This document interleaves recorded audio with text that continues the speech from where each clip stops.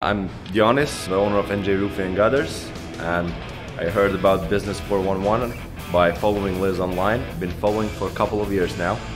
I think it's my third year following her and decided to jump the ship. And it's been something that I regret I haven't done it before.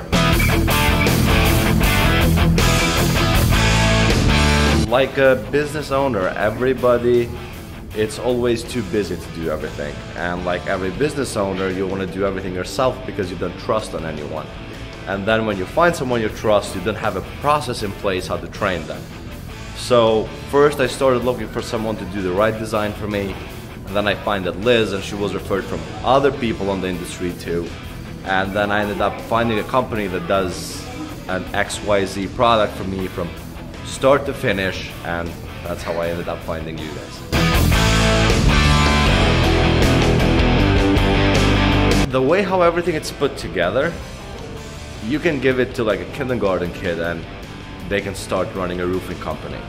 The way how well it's explained, I've been part of other business classes, part of other roofing classes, and either they put something very hard together to understand, or it's gonna be something that it's just a short product that have very little info. The amount of info that's covered in the book and the way how it's put together, it's so understandable and so easy for everyone.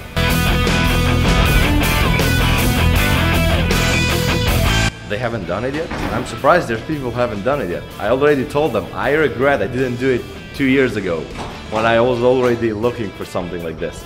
Actually, all jokes aside, this would be one of the best decisions they would do because they would put a whole SOP process in place. They would have a whole book how to do everything, and the growth scale would be up to them what they want to go. After doing this class for two days, I can see that it's up to me if I want to be a million dollar company or if I want to be a $250 million company. Process is there, everything is there. It's up to me what I want to do. Same thing is going to be for them too.